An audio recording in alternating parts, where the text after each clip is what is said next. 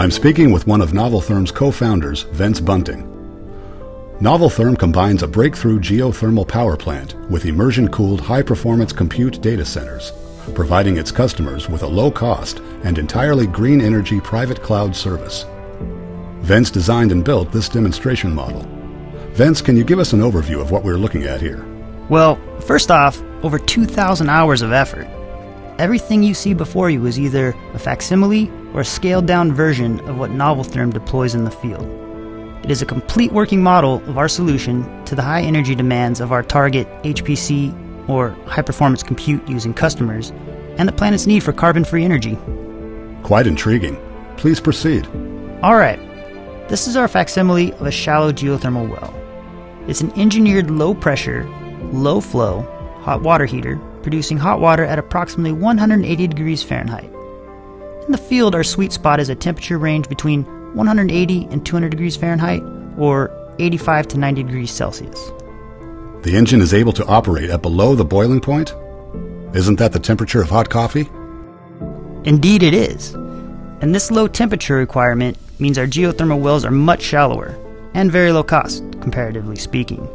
We also avoid many of the costly maintenance and well issues a typical deep well will have. Clearly good cost savings. What happens next? Now we come to an important part of our modified Stirling engine assembly. These coils are shell and tube heat exchangers, which are essentially just a tube within a tube. The inner tube contains a special working fluid, and the space between contains hot water and then cold water in a controlled cycle. In the field, we use shell and tube or plate and frame heat exchangers as conditions require.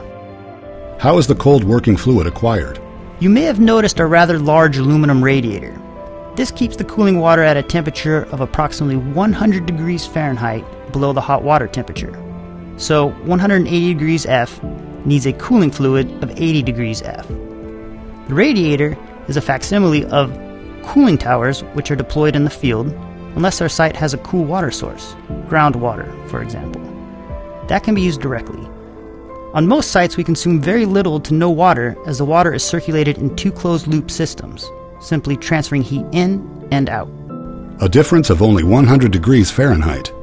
Is that significant? Quite significant. Other geothermal conversion technologies need a much cooler temperature to operate at subboiling input temperatures, and significantly more cooling fluid, making them infeasible, if not impossible.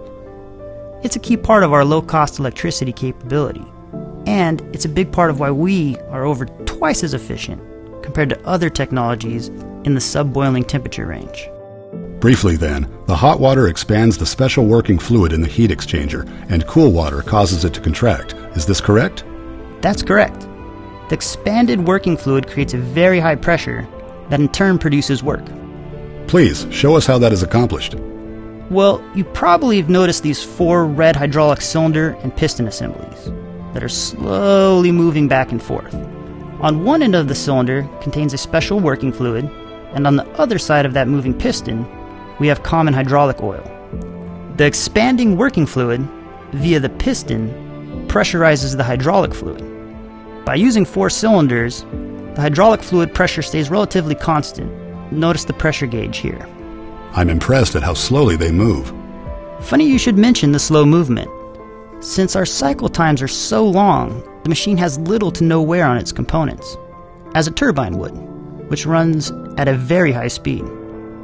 This allows us to realize a two to four times greater lifespan versus other green energy technologies like wind and solar. Not to mention producing electricity 24 hours a day. All for a similar capex. Pretty hard to beat. Sounds robust and cost effective. In the field, do you use just four cylinders? No, the power plant modules contain approximately 12 to 32 cylinders, determined by the resource temperature, well flow rate, and horsepower desired. This redundancy provides an option to bypass cylinders for maintenance, which allows the machine to continue making power 24 7. Multiple cylinder assemblies, redundantly pressurizing hydraulic fluid. How then is electricity produced? Pressurized hydraulic fluid is then delivered to a hydraulic motor both here and in the field. The motor spins a shaft that in turn spins an electric generator. We don't need a turbine nor a transmission. Both of these are maintenance issues we avoid. This is an impressive renewable energy technology. Very true. But what is also impressive is the multiple applications of this breakthrough technology. It can pump oil, water, and pressurized water for desalination. The heat source can be focused solar, industrial waste heat, and, as in our case, low grade geothermal hot water. What does Noveltherm do with the renewable energy it produces? This redundant, low cost electricity we produce is used to power an on site, high performance data center, but not a traditional air cooled data facility. We employ another breakthrough technology in data center cooling known as immersion cooling. We demonstrate that cooling tech with this facsimile tank containing a functioning server, filled with an engineered fluid which conducts heat well, but not electricity. We artificially added the bubbles to show the fluid. The server and touchscreen, by the way, use the power we are producing here. There must be good reasons to employ immersion cooling. Real good reasons. First, the energy needed to cool the high performance servers is remarkably low with immersion cooling. The PUE, or power usage effectiveness, is about 1.03. In a normal data center operation, this means for every dollar spent on energy, only 3 cents is needed for cooling. Air cooled operations have a PUE around 1.25, or 25 cents, a significant difference. Is cost the only benefit to immersion cooling? Since we make our own power, the PUE is not as critical as the density gains offered by the immersion system. We can house a 1 megawatt HPC data center in 1500 square feet. By combining the low cost immersion cooling tank system with a much reduced building requirement, the economies are undeniable and pass through to our clients. Are there any limiting factors with immersion cooling? There are a couple. The engineered immersion fluids are messy to deal with when servers need repairs or changeouts. More importantly, some manufacturers are still unwilling to warrant their servers if they are immersion cooled. Messy and warranty issues.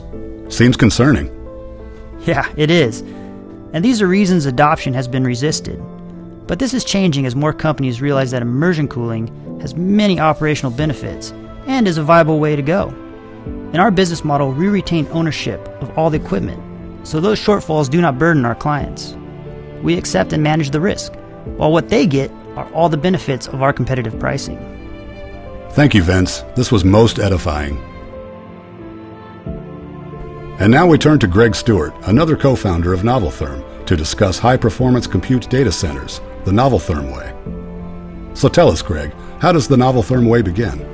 Well, the first order of business, as briefly mentioned earlier, is to purchase property with known geothermal resources that also provides additional redundant grid power and high-speed fiber connectivity. That combination would seem difficult to find. Our engine's unique ability to use low grade geothermal resources in the 180 degree F or 85C range provides us with abundant opportunities that meet our requirement.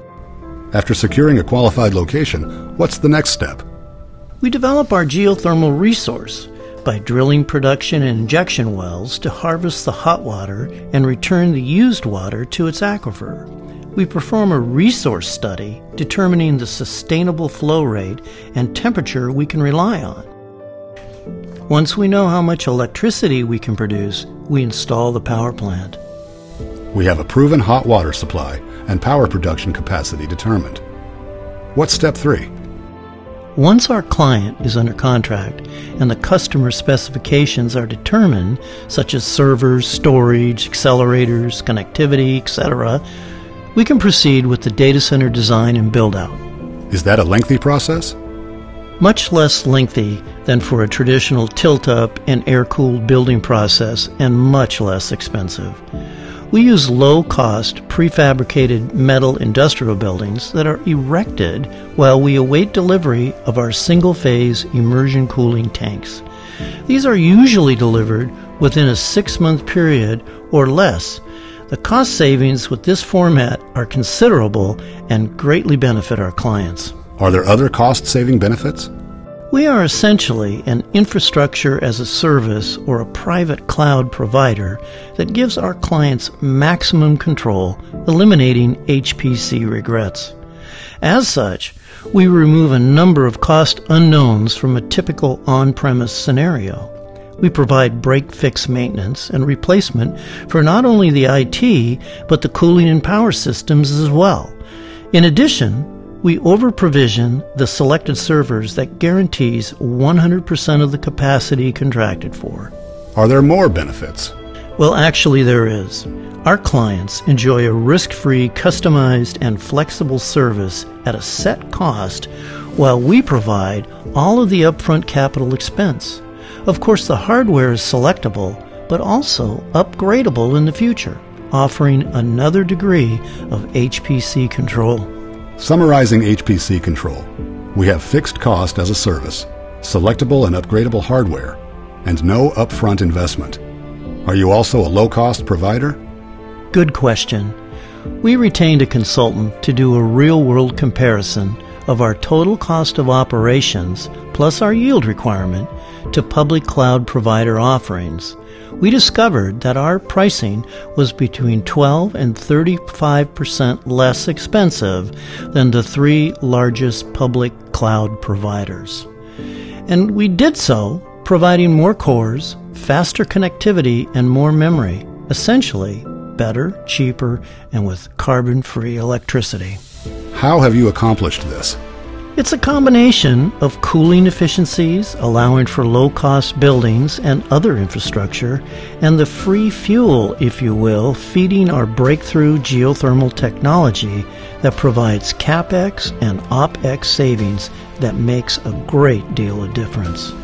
Any last thoughts? Yes. Noveltherm respects our clients' data sovereignty. Therefore, we are the sound alternative to the public cloud. We believe our clients experience zero risk and enjoy maximum HPC control.